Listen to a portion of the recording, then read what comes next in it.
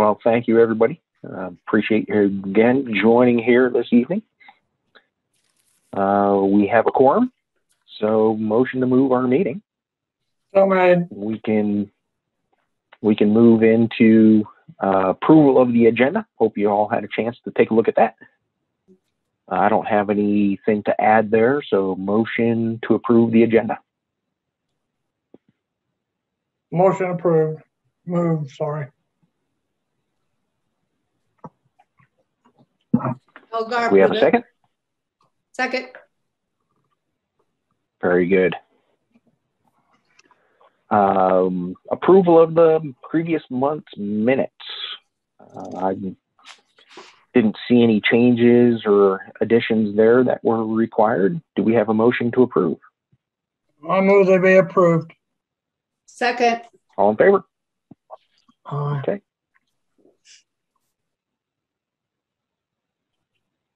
Into communications from our pros. Ryan, how about you up first? Put you on the spot.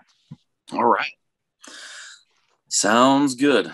All right. Uh, sunset for um, March. Um, revenue wise, we were projected about 32,788. Um, actual came in at about 18,430, uh, $23, excuse me. Um, rounds, uh, actual, or excuse me, projected rounds for March were about uh, 1493. Um, came in actuals around uh, 1,072 and uh, I think one of the one of the real considerations to why it was down that was that uh, you know that little blip kind of pummeled all of us for a while there. We were we were starting off really good for the year, um, and I mean even when we were when we're open like t- uh, yesterday, today, Saturday, super busy. Um, so I, I- have I'm really excited for April for March or excuse me, May, June, July, these summer months to really kick it into high gear. But uh, yeah, March was a little was a little tough for us. It looks like.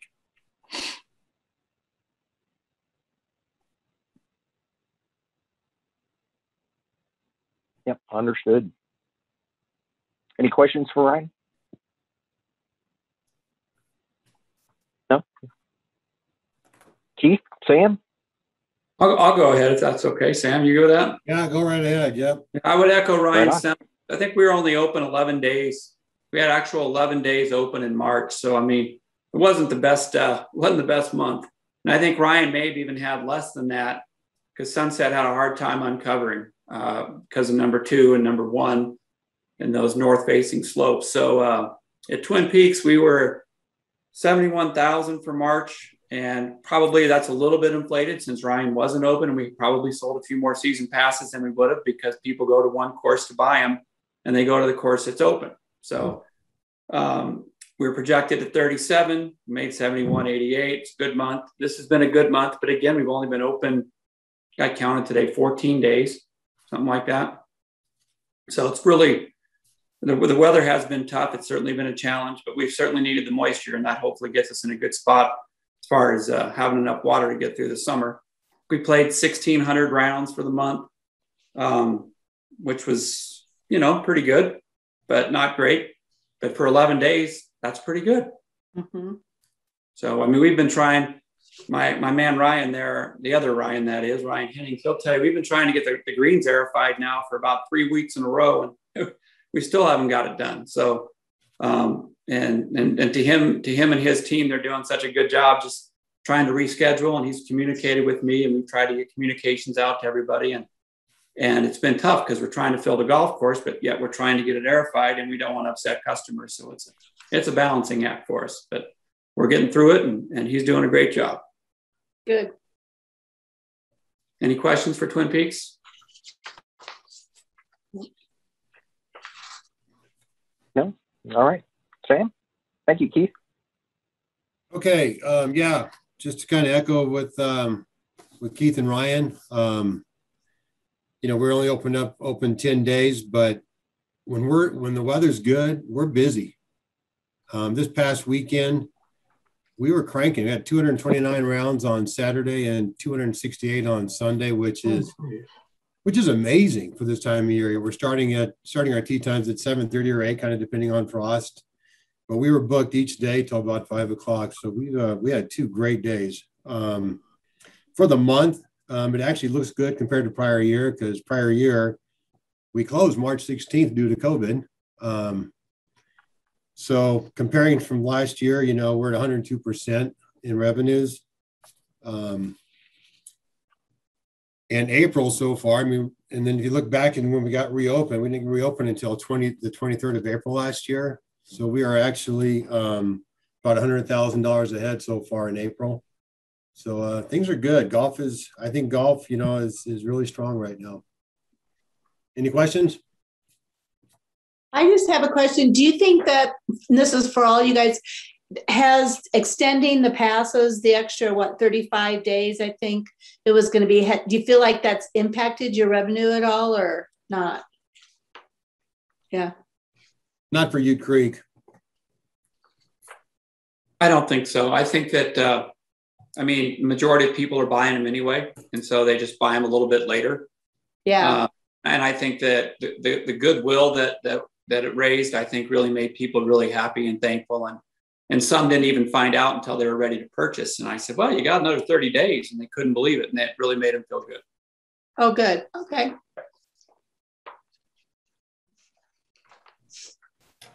Any other questions? By the way, uh, Keith, I did a like a cost analysis for my group on because some of them are playing Ute Creek on the Tuesdays too. So I did a cost analysis for them on the break even and stuff for the different age groups, and, and they appreciate it. So hopefully, I even promoted a few more passes. Oh, good. Thank you. Appreciate that. When it, when you really sit down and look at the numbers, it really is a great value. It is a great value. Unless you're having to rent a cart and you got to pay the extra penny, then it gets a little frustrating. Well, they're going to do that anyway.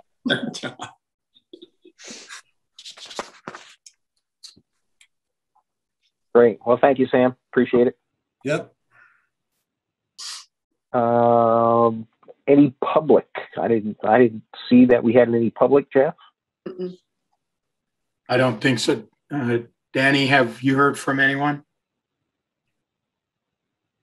No, we don't have any public. Okay. All righty. Very good. Um, six old business. Don't have any old business to attend to. Seven new business.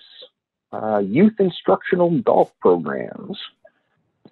Yeah, one of the one of the uh, things uh, Justin Drake, who was on our board for one meeting, and he had to resign because he was uh, his business was relocating him, had asked to talk uh, about uh, our instruction programs for youth. So Keith and Sam are ready to share what they have planned for this summer. Perfect. I'll, I'll start unless Sam.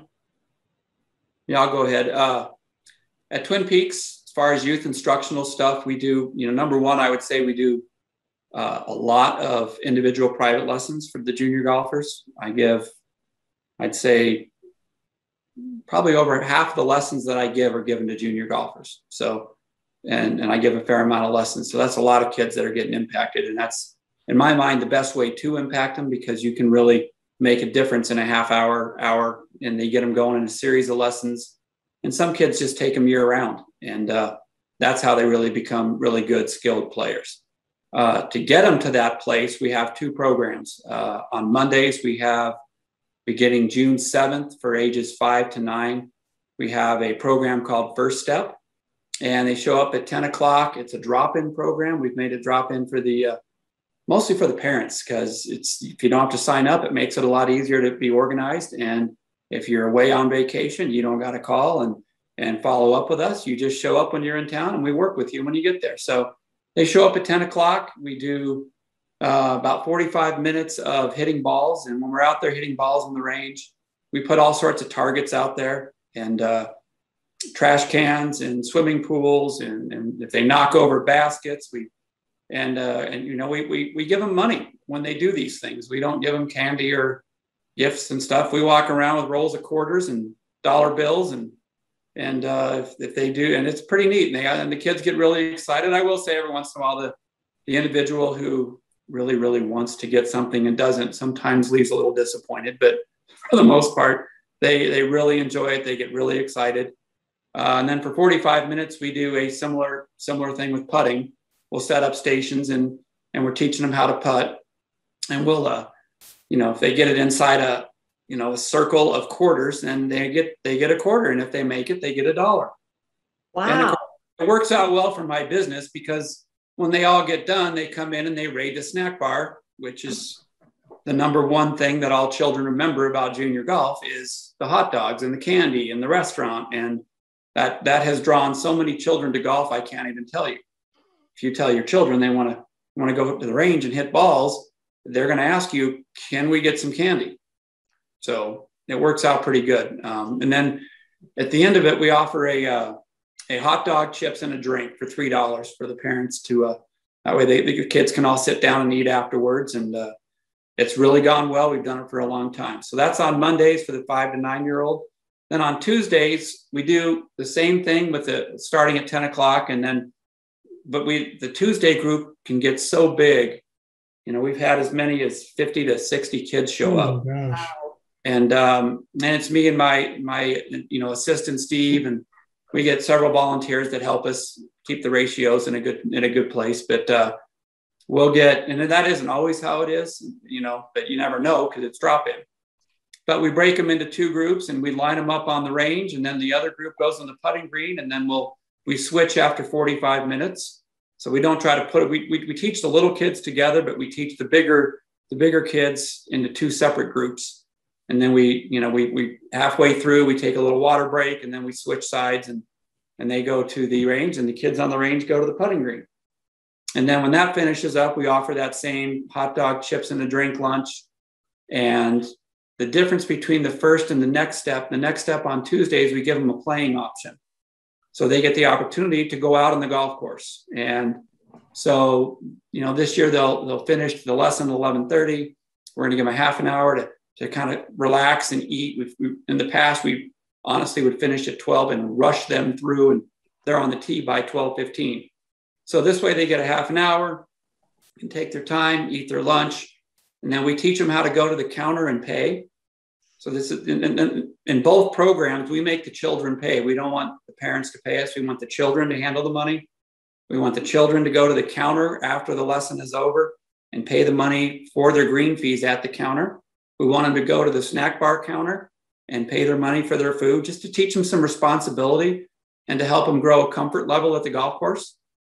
And so then we pair them up and, you know, even before they go in, they're already paired up into groups. So when they go upstairs, they report to the guy that's checking them in.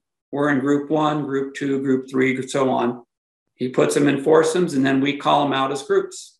They all pay their money, they have their lunch, and then they head out and they play nine holes. And, and, our, and our deal on the nine holes is uh, they get six shots, they get four putts on every hole. And so I basically, as they're going out, I, I, I holler at all of them six shots, four putts, do not get in front of each other. Yeah. Because safety is a big thing, which we obviously stress when we're, we're on the range with them too. But uh, I think in the last 10 years, we've only had one incident and, uh, and one, you know, two brothers were playing together and one got out in front of the other one. And then the kid, of course, hit the ball while his brother was in front of him and he hit, hit his brother. But it didn't hit him in a bad place and it worked out okay. And I think in, my entire career, this just goes all the way back to my days at Sunset when I took over in 97 there. We've only had one serious injury that, that has ever got hurt at junior golf. And that, and that individual, you'll see him on Fox 31 News. His name is Evan Krugel. Oh, He turned out okay, yeah. but he got hit in the eye way back. So, um, but again, he got out in front of his friends, and a friend hit the ball, and it, it got old Evan. And so, anyway, he's uh he's doing okay, and he's had a really good career for himself. So, anyway, Huh. we get him out there on the golf course. We make him keep up with the group in front of him, which is we we never let the slow groups let they don't get to sit down and relax and let people go by. We teach them all to keep up with the group in front of them. And I will tell you, they are the fastest league we have on the golf course. They play in less than two hours. They're finishing nine holes in less than two hours. And, and we talked to them about picking up on the golf course and picking up your trash and, and repairing extra ball marks and fixing divots and stuff like that, leaving the golf course better than they found it. So it's been a successful program for a long time. And fingers crossed, according to uh, the, the health guidelines, we are going to be good to go. So we are planning on doing it. The Monday program will start the 7th, the Tuesday program will start the 8th. That's great, Keith. So That's uh, June 8th. yeah, June 7th and June 8th. Okay. Fantastic. And that's all we got for Twin Peaks. So, That sounds great. Sounds great. Thank you, Keith. yep, thank you. Sam, do you have anything you want to add to that? Sam? How did, how does anybody follow that? I'm serious. I mean, Keith is probably one of the best salesmen I ever met, but I do have to say he is also, without a doubt, one of the best instructors in this state, and that is, and that is a fact. And he is without a doubt the junior golf leader in Colorado in in Longmont. Um, but he does he does a great job. Uh, we we do golf. We do junior golf um, here as well. Um, I've done some of the clinics myself over the years. I really don't do that much anymore. I help out when I need to. But Trey Sheehy um, is our, he's a PGA professional. He's been at Ute Creek since the course opened in uh, 1997. Um, he was actually at one time voted the junior golf leader for the PGA section in Colorado. So he's great as well. Very, very good instructor. But he does our junior camps. They they pale in comparison to Twin Peaks. Um, but it, for this year, they're on hold. We're not doing anything at this time for um, for 2021 until uh, Mike Keats mentioned the um, COVID restrictions. And hope I'm not speaking out of turn here for Trey, but he's he's um, he's one of those guys that's um, very paranoid with the COVID stuff, and so he's very he does classes and stuff, but he's kind of nervous about being around a bunch of kids. So so anyway, they're on hold at this point, but um, hopefully that changes. That's it. Thank you. Excellent. Thank you, Sam. Yep. Appreciate that. All righty.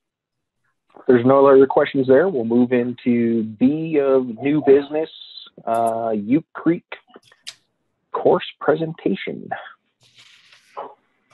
I'm interested to hear about this. Sam?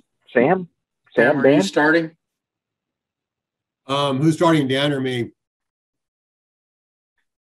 Danny, do you know? Sa- Sa- Sam or Dan? Either one of you. I'll go. Who, who's running the, the PowerPoint? Is that Nikki?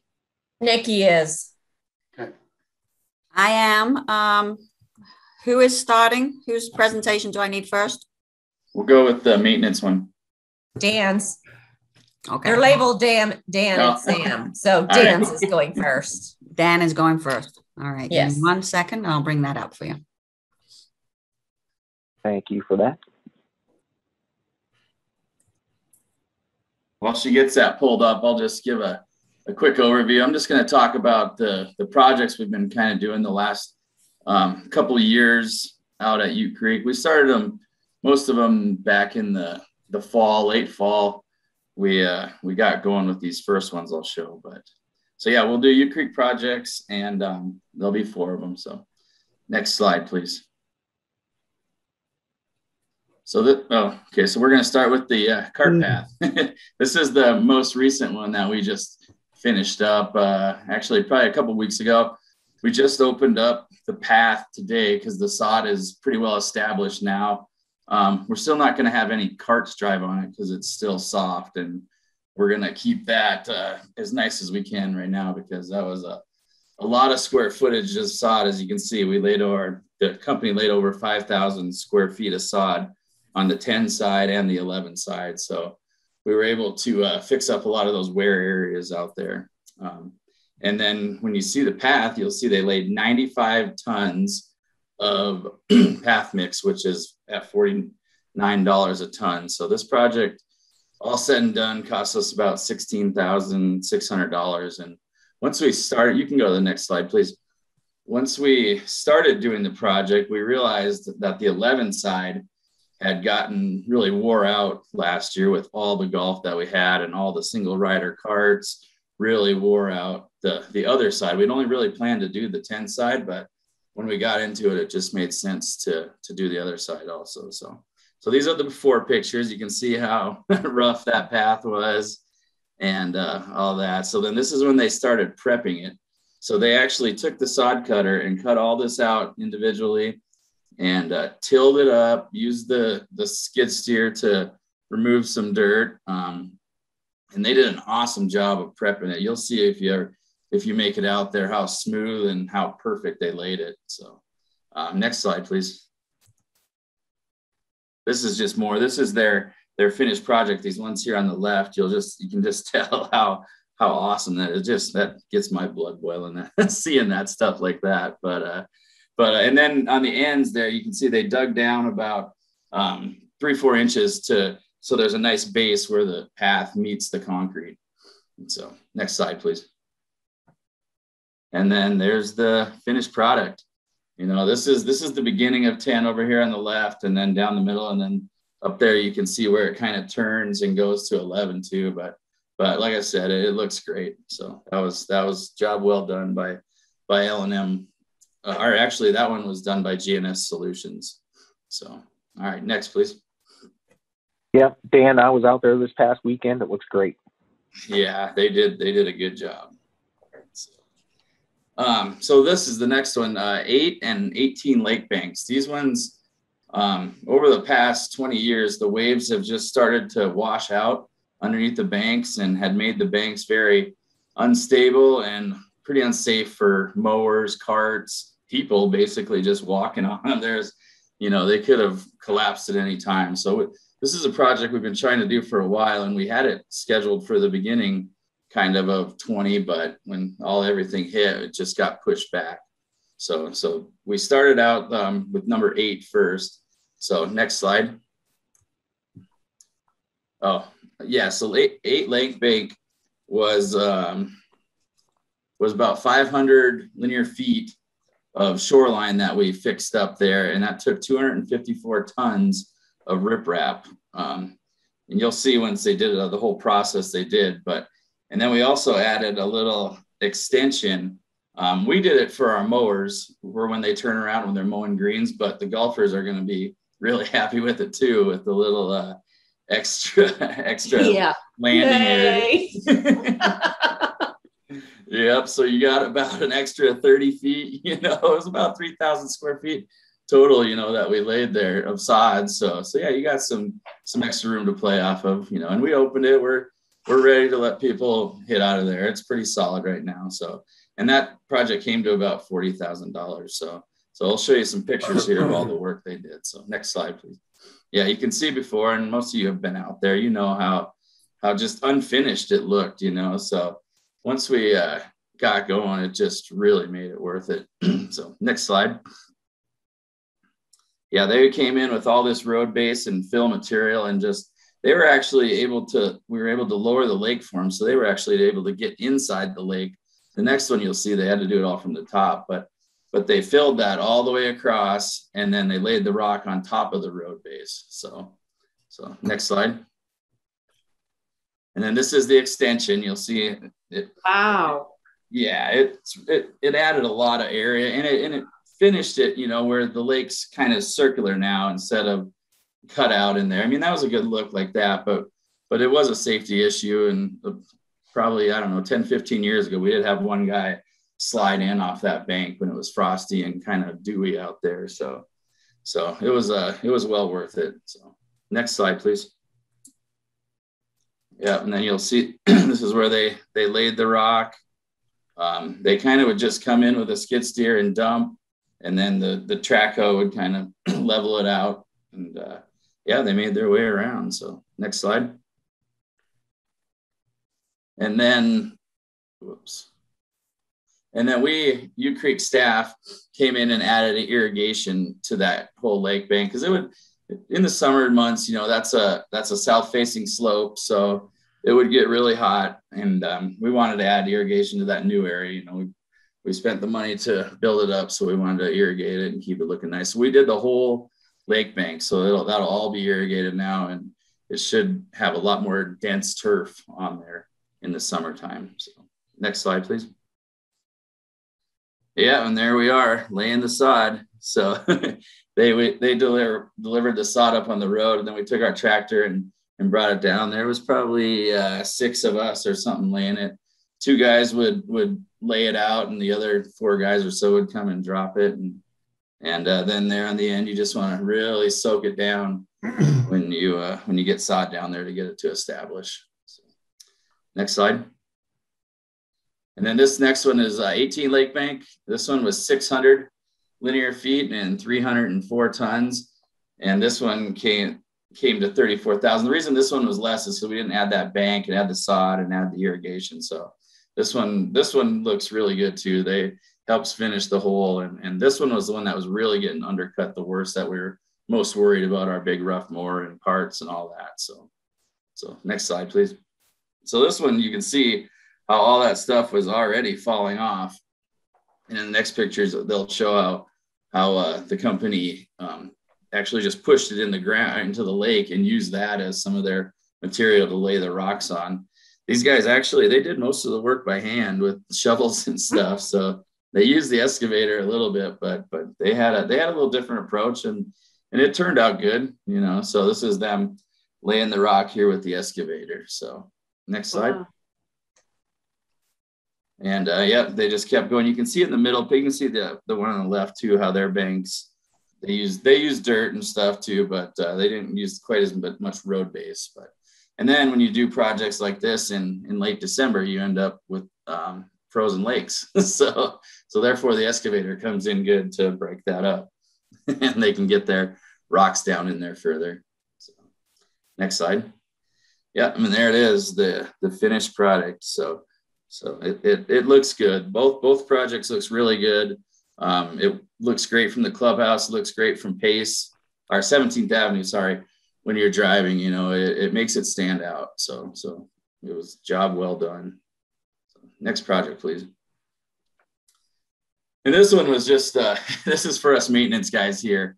Our uh, our old shop here. Um, we had done this project probably 10 years ago, and it has just been wore out and it was so dusty, you know, in our dry summers, anytime a cart or, or any type of equipment would drive through there, would just be a dust cloud. And, and our mechanic works just over here to the left in this le- right picture.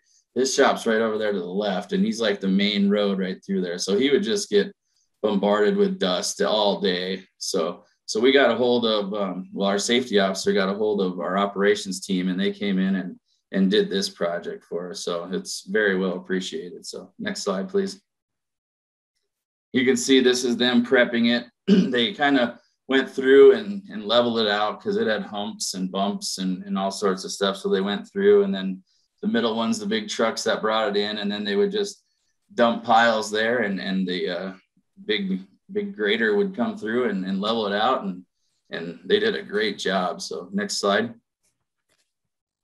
this is the big machine. They didn't uh, skimp on size of the equipment they brought in to help us out. So, so that was nice. This thing's got a what they call laser levels on there, so he can go along. And I'm not positive how it works, but it kind of goes on its own and just makes everything perfectly flat, you know. And then they, the other guys here on the picture on the right would do a little handwork. You got to touch up all the edges, and, and this guy in the skid steer would come and do all the small areas that the big guys couldn't get into. So.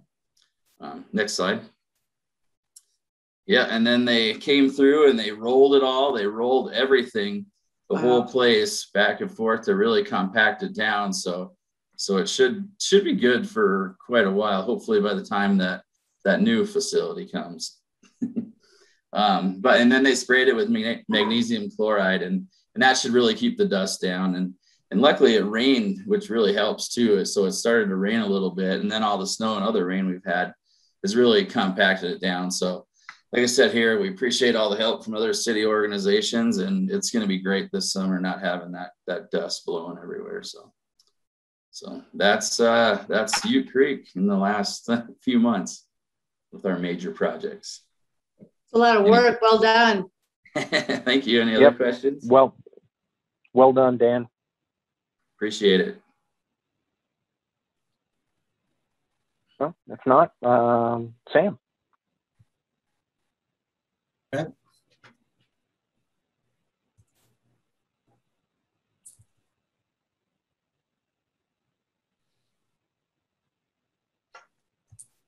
Well, while we're waiting for the slide, um, I just want to mention about Dan and his crew.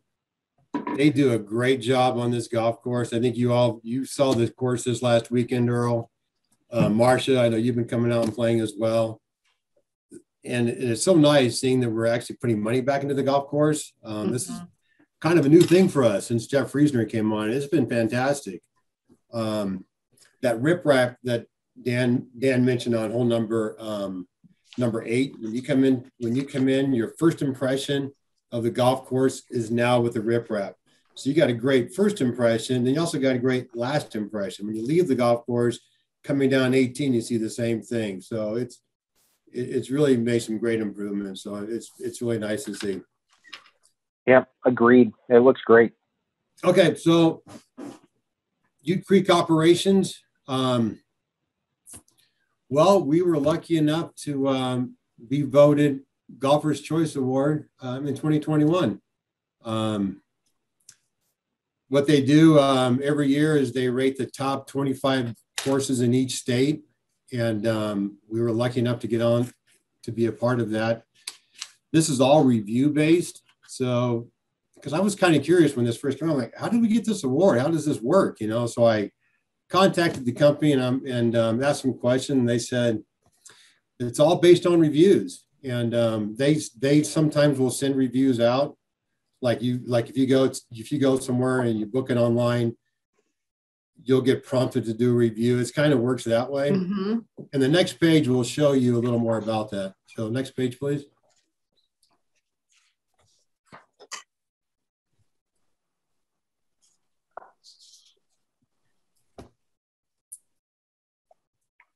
Uh, that's the wrong one. Oh, sorry.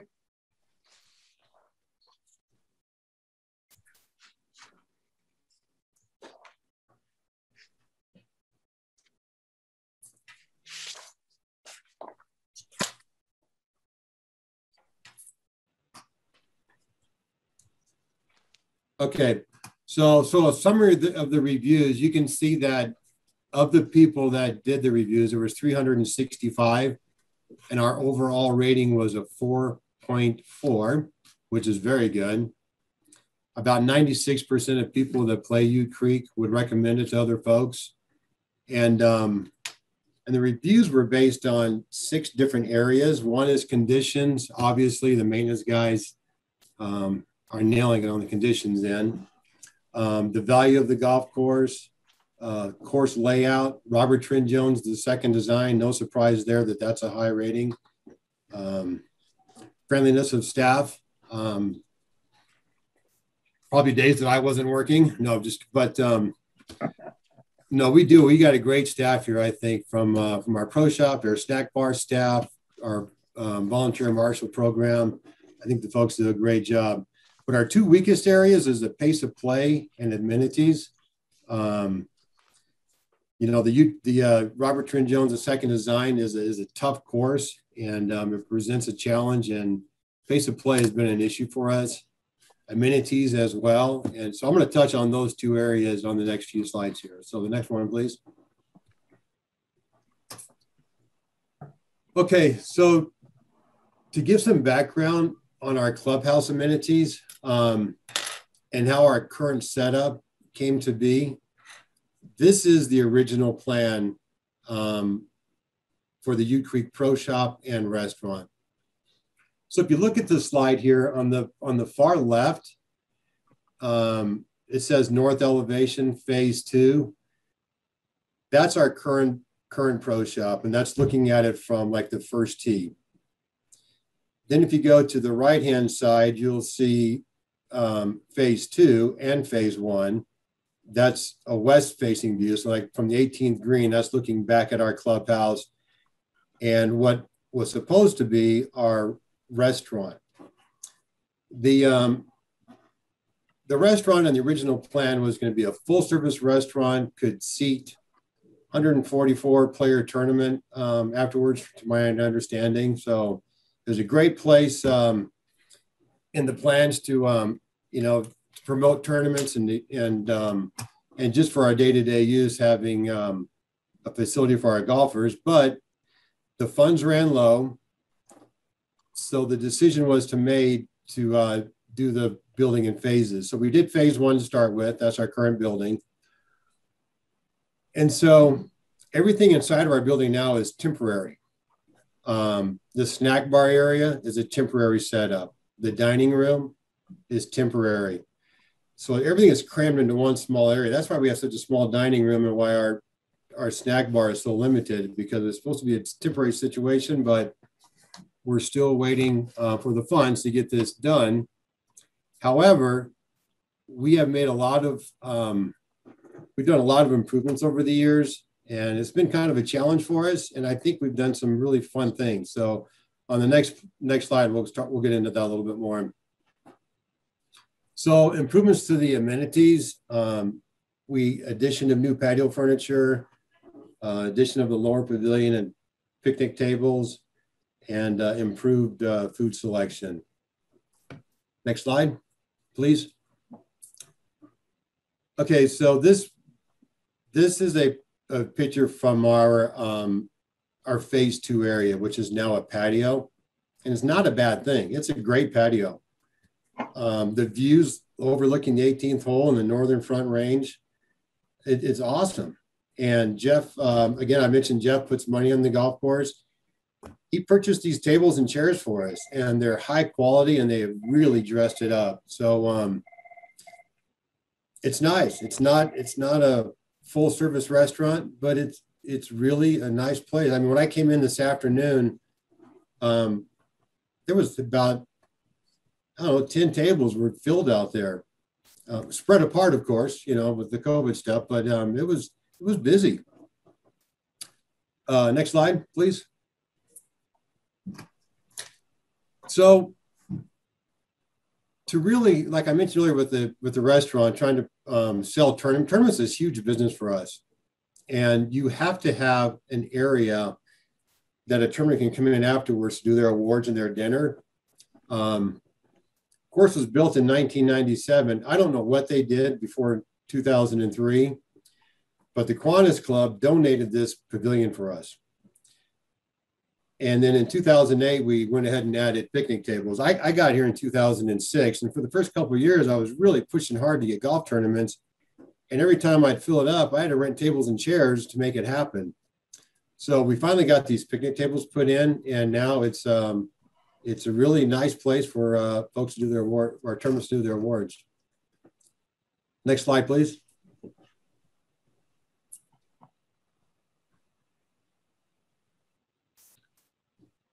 Um, the um, next slide, please. Oh, there it is. I'm sorry. No, I'm sorry. Go back. Oh, sorry. That's right. My fault.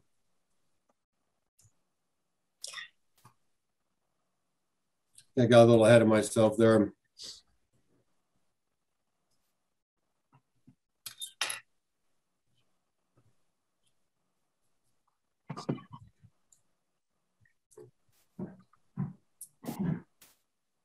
Um, one, one right there. Another thing that we'd like to see happen here, um, and we've been actually kind of working on it for the last couple years. This in 2020, we're really going to start trying to push for to get more uh, weddings and stuff out here. It, would be a great wedding venue with the with the setting that we have overlooking the golf course. Um, it would be perfect. And the pavilion's a great place for it, but it just needs to be dressed up a little more. I, I don't know what that would really entail. You know, I kind of I kind of picture like some wood beams and stuff. I don't know, just to just to pretty it up some. But the other big issue with doing weddings for us is it's not enclosed. Um, so when the weather comes in, it could be a disaster. And I've seen it happen. I remember one time, it might even be this one here, the picture here, but one time we had it all set up. We had all the wine glasses, everything set up on the tables, and a gust of wind came through, and we lost every glass. Um, so if some, that would be my wish list. If somewhere down the road that we can get this thing enclosed, I kind of picture like a garage door type of, uh, like a fold down door, something that we can open air. Then if it starts to get bad, we can bring it down. But um, one of the improvements. So um, yeah, much better. Anyways, next slide.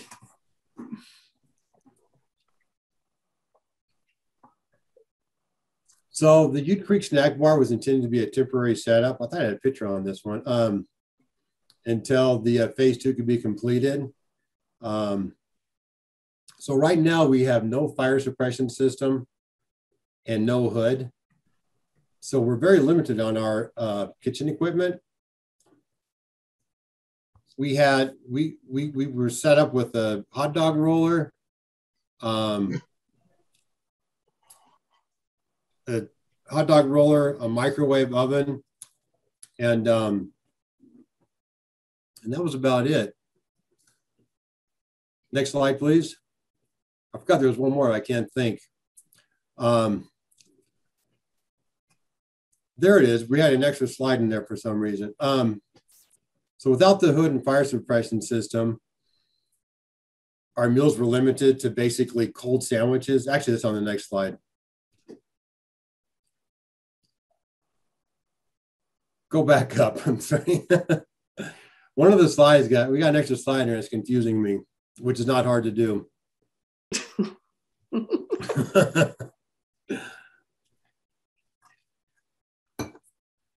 so basically, okay, Sam, we have a sandwich table. We got a sandwich table and a hot dog roller. So basically, all we've been able to really do is cold sandwiches, sandwiches, wraps, hot dogs, and brats. Um, we've tried a bunch of different things over the years to try to amp up our food service for just the day-to-day um, customers. And um, one of the things we did is we we tried a gas grill. We put that out in the back of the snack bar so that we can cook hot food. Hmm. Um, and that was really, it was difficult, kind of difficult because there was no flow to it. Um, so we still use that for tournaments. It works great. You know, when we have tournament outings, we that's what we use to uh, prepare food. We use the, the gas grill. Um, we can go to the next slide now. So we came across this back in 2013. This is called an auto fry. And what this is, it's a fryer that has a self-contained fire suppression system. And that, that has really helped us a lot. I mean, we're nowhere cl close to where we need to be yet, but it has it's been a huge help. We've got a lot of fun food items now. Um, go to the next slide, please. Yeah, this is basically what we were able to do prior to the auto fry. Cold sandwiches, dogs brought. I gotta say though, our brats are delicious. They're um, all beef, quarter pound. Our brats, we do, we put a lot of work and effort into finding the best brat. But that was all we had. You get a sandwich, dog, or a brat, and chips. And uh, that was pretty much our only selection. Next slide. Now that we got the auto fry, um, you can come in and have a ice cold beer and a cheeseburger after you're around. And with fries instead of potato chips. Chicken sandwiches. Next slide. Wings. Our wings are amazing as well. I got the waistline to prove it. Chicken tenders and that's just a kind of an example of what we can do now. So it, it there has been some improvement made um, with our food selection. Again, it's not it's not anywhere anywhere where it needs to be, but um, it is definitely better than what it was with just that one piece of equipment. Okay, um, before I go into a pace of play, is there any other questions? Any questions at all? Okay. Um, so about Ute Creek, again, I've kind of mentioned already, um, Robert Trent Jones, the second design, um, world-class golf course. We're very lucky to have this course here in, in our Longmont community. Tough course, so it's definitely has been our challenge for pace of play. And the next slide, please. So here's some of our challenges for the pace. Um, we got five lakes. They now have riprap on them. We got five lakes that come into play on six of our holes. Um, the two creeks that that meander through the golf course um, that comes into play on seven of our holes. We got native grass on on every hole, which and Ute Creek being a link style golf course is really important to have the native grass. We, we got to be careful about how we maintain it, but um, because the native grass really defines our course because we don't have all the trees. So that's really our is a really nice feature. However, the native grasses, um, you know, you hit a you hit an errant shot into the native grass, it takes forever to find the ball, and then it's difficult to get out of it. Out of balance on almost every hole, 55 uh, sand bunkers. We got multi-level fairways uh, for difficult approaches to the greens. Um, undulating greens for difficult putting conditions. Our greens can be tough if we want to make them tough. And forced carries on several holes. There's many holes out here that you have to either carry a greenside bunker, a fairway bunker, um, creek, the lake on a couple of holes, some native area. Um, yeah, it's tough course. Mm-hmm. Next slide, please. So we've, we've, we've come up with like five different um, five different steps to, to improve our pace of playing. Some of these are ongoing and some are kind of new, but we've increased our course marshal and first tee greeter staff, um, trying to educate our players a little more. We've added white tees, um, and we're trying to do an easy course setup during peak times. And again, to maintain the, the native areas in some strategic areas. Next slide, please. Okay, this is a this is a sample of our um, or this is our schedule during our peak season. And the biggest change that we made going into this season is we amped up our our greeter, our first tee greeter, from six o'clock in the morning until two o'clock. So we have somebody out there standing on the first tee for the first eight hours a day, seven days a week. We used to only have that on the weekends but we I think that's probably the most important position out here because those guys can can meet the players when they come to the tee. They can talk about any conditions on the course that are relevant. They can suggest the correct tees to play from, um, and also talk about our pace of play. Our pace of play, our recommend is should play in four and a half hours. That doesn't always happen. I, I don't know what your pace of play was like this past weekend, Oral, but we started off great started off at four and a half, but by the end of the day, we were we were close to five hours. Um, we were four and a half. We were right at four and a half. Yay! Glad to hear that. What was your yeah, tee time again? It was great. Uh, we teed off at ten-ish. It was after the men's club, so That's yeah, great. it was great. Once the tee time start getting to about the one or two o'clock time, those folks start finishing in about five hours because it's you know, pace of play is like a one lane road. You can only go as fast as the as the group in front of you, and um, that's why we have amped up our marshaling so that we have marshals on the course from the first tee time of the day to the last tee time of the day, just to help with uh, and assist players. How, how many minutes are between groups teeing off? And that's a good question, actually, because that varies from golf course to golf course. Um, our standard in Longmont has always been eight minutes. Yeah. Um, but we changed that last year because of COVID. Yeah, I thought we're now- did.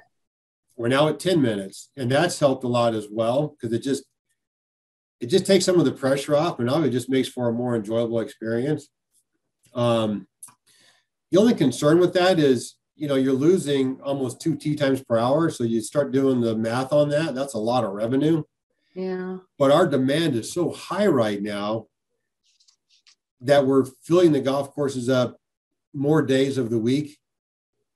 Like for instance, we used to really rely on our Friday, Saturday, and Sunday times to generate our revenues, but we're filling up almost every day.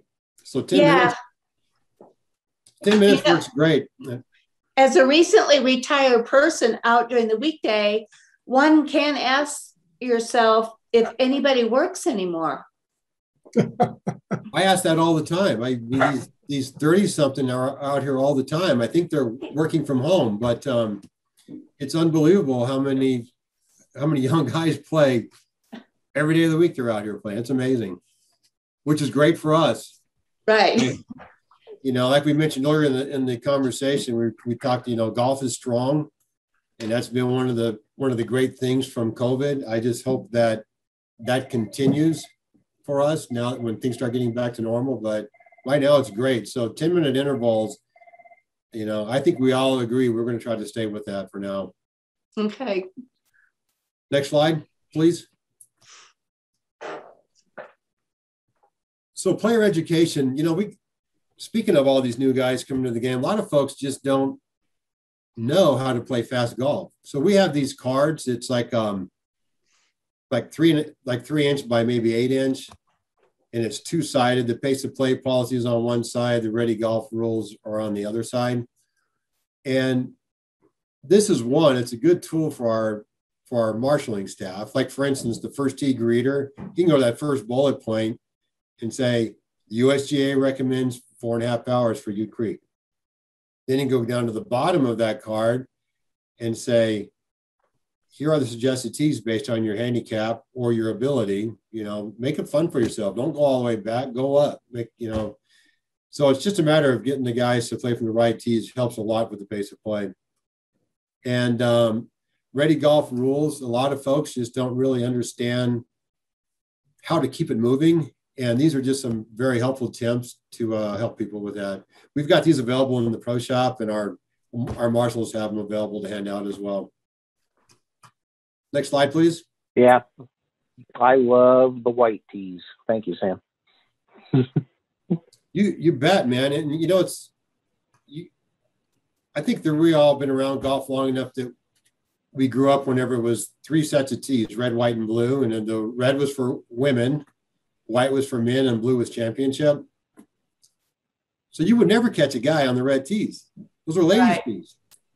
But that stigma is really starting to go away. It's amazing how many guys you see playing with the red tees now. Um, There's quite a few more that should be. There, there should, should be playing for like the 150 markers, but um, but having the uh, suggested tees by course handicap, um, I think really helps because the guy can just look at, hey, yeah, they're telling me to play from these tees because what my handicap says. So we not we have it on the pace of play card, and we have it on the scorecard as well. That's uh, good. Okay, next slide, please. And then easy court setup during peak times. Well, peak times was every day now, but um, Friday, Saturday, and Sundays are, and really, except for ladies' days, we try to keep the course easy. On ladies' day, we make it really as difficult as we possibly can. I've noticed that. I think you even move in more sand traps. we have 55 of them. Oh. Um, but on the scorecard, you see the uh, you see the pin sheet or the or the hole location chart. We got one through six. Uh, this serves two purposes. One, it um, it helps with the wear and tear on the greens, so the maintenance guys just kind of follow that program. And then two, it helps the golfers to know um, where approximately where the where the pin is at on the greens.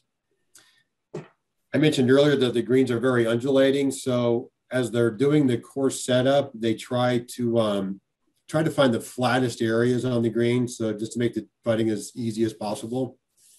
And then also we try to move the tees up as well every chance we get. Next slide, please. To me, I think this has been made the biggest improvement on pace of play because I can't tell you how many times I've just seen guys out there looking for that five dollar golf ball and just spinning forever looking for it. So the native area we identified a couple years ago, the areas marked in blue, um, and we started to maintain them, but we just got aggressive with it. Um, the proposed areas were marked in yellow, and um, we are now cutting all of those areas down. And um, I think that's helped tremendously with our pace of life. Hey, can I ask a question? Um, yeah. Have you noticed anything as a result, most of the people are leaving the pins in. Is that made any difference at all? It's on pace of play. I, I don't really, I mean, that's a good question, but I don't know. I, I don't think so, but Okay, I mean, it, it's possible. I was just curious. Yeah, because it's that one last step of putting the flag back in. So, and the rules of golf now you can leave it in as well. So that's kind of Right. changed just prior prior to COVID as well. Um, that's it for Ute Creek. Any other questions? That's good. Thank you. Very good.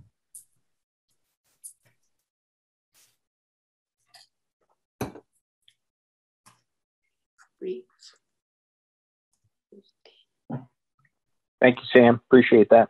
Yeah, thanks, Earl. Uh, any items from the staff at all? Board Nope. members, staff. Nope. Can I ask a question? Am I Yeah, staff or please. not? Yeah, Items for the yep, you're board? board. Um, two things. First of all, just so you know, I, I, my wife and I here moved here about 12 years ago, and I live about uh, seven minutes from Twin Peaks and seven minutes from Sunset. So I go back and forth. Uh, it have been for, you know, 11 or 12 years. Last week, I was at Ute Creek and with a couple, and we teed off on four. And the man hit a, you know, hit his tee ball and about 200 yards in the air, hit the tree on the right side, and bounded out in the air in the street. Would you believe? Hit a car coming by, broke the windshield. Oh, So that means, I mean, I've been playing there for 12 years. The first time it's ever happened. But what came up uh, was everybody was wondering, well, gee, do they ever thought about putting, you know, some kind of fence along that the uh, was it third third street and just perhaps, perhaps preventing that from happening? I'm just curious if what's the background on that? You're referring to hole number four at Sunset, correct? Right, right. Okay. Um, Jeff, I don't know if you want to answer that, but I've I've had this come up, but I think we went against that at one point because it's going to cost it would cost outrageous amount of money. I bet it would. Well, and I, I think it also is a impact to the neighbors. We would, if we were going to consider that, we'd need to do some real uh, public uh, meetings to get their input because looking out that all the time at, at that big tall fence, I think is going to give them an opinion that it's, uh, it may save cars and windows, but it, it could be pretty ugly looking. Yeah, I would agree with that, Jeff. I would think the neighbors in the neighborhood would really oppose that. Yeah. Well, I was just curious. I mean, Yeah. it, it was just amazing to think about that Yeah. it bounced off the tree. Yeah. he, didn't, didn't even hit it out there or slice it out there. You know, it had to hit, hit a tree, and then right at that moment, a car had to be driving by. It had, I mean, it was amazing. And of course, the car stopped, and he went over there, and they, you know, exchanged insurance stuff and all that good stuff. The Good. other, the other question I have today, I, I played with a couple of elderly ladies, and they were sort of upset that they couldn't drive their uh, cart out to their car to put the clubs in. And I'm curious as to what controls that, or can we open that up or not Good to question. drive out for sunset? For any of the courses. Well, Well, Twin Twin Peaks, you can. Oh, okay. Yep. and that's we what, you know, I go back and forth those two. That's so I thought, well, Twin Peaks can. Why can't uh, you know Sunset? Do you want me to go? Yep. Yeah, I'll I'll, I'll kind of give a brief explanation to one of the one of the main reason reasons to why we don't do it at sunset is on a busy given day for sure. Like Friday, Saturday, Sunday, even today, I played myself uh, as well out there today.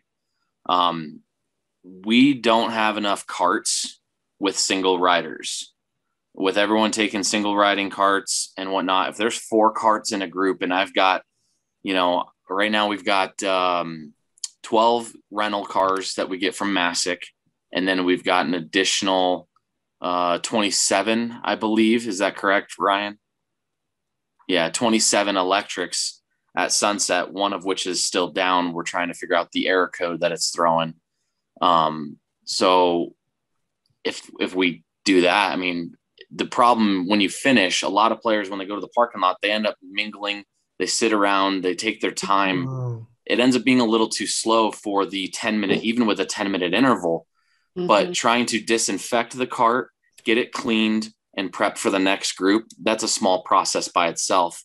It's five to 10 minutes to turn the car and have it disinfected properly.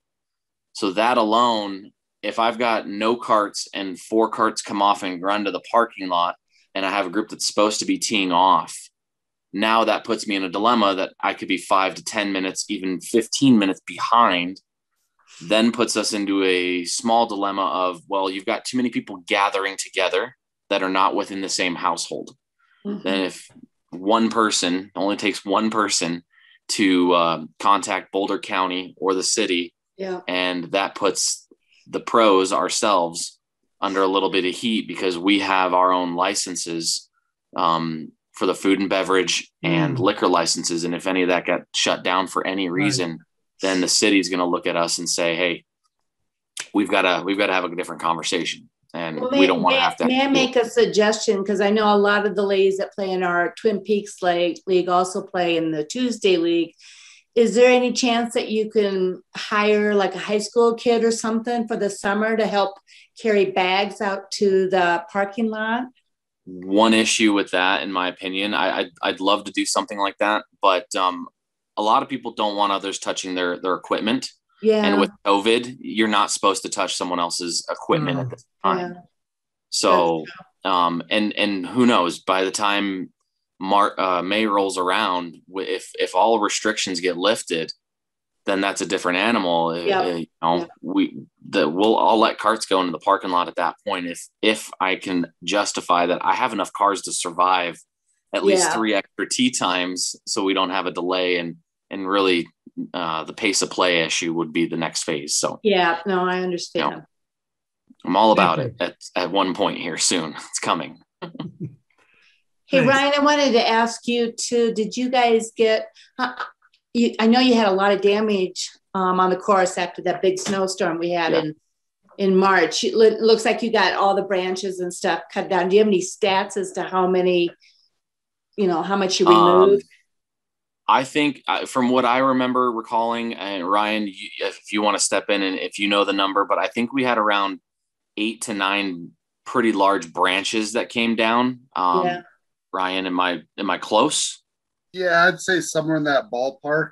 We didn't count them um, specifically since the city's forestry department came out and helped us clear a lot of the large ones. Oh, okay. Yeah. Since they since um, some were still attached to the trees themselves, and they had to climb and use their bucket truck to get it, and then they used their grappler truck to haul it away. So a lot of that removal was out of was past our um, abilities. But as of right now, all of the we did not lose any one tree. It was this large branches off of trees. Right, So we didn't right. lose any specific trees during it. And right now they are all picked up except for a few back behind the maintenance shop that are still Yeah. hanging out back there. Got it.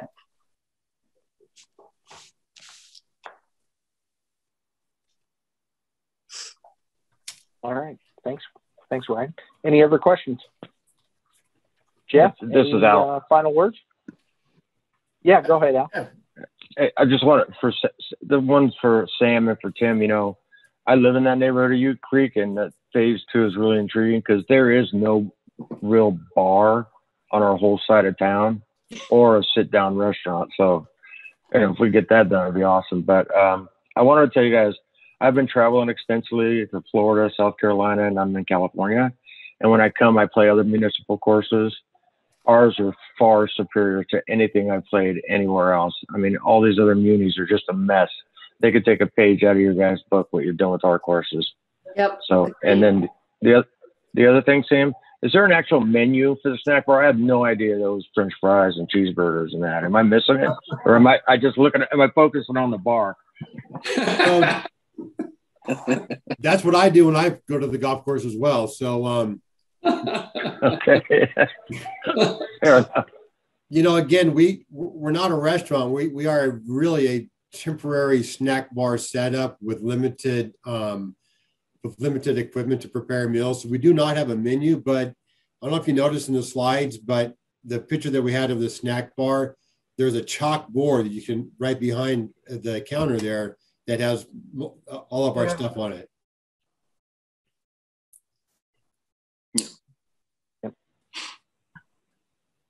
I never could get past the drink deal for the menu, so thanks. Next time you're out, you got to try one of our hamburgers, man. They are delicious. Jeff, any uh, final comments?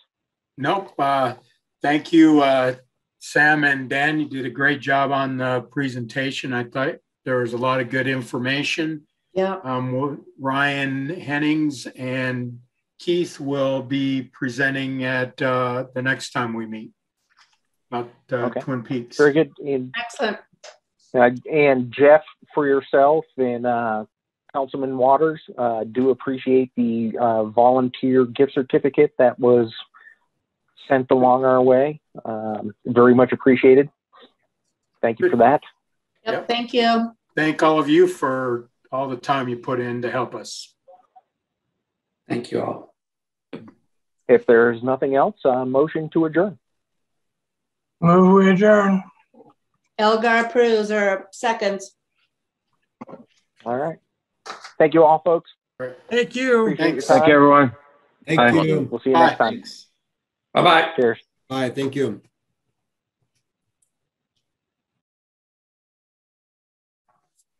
Thanks, Nikki.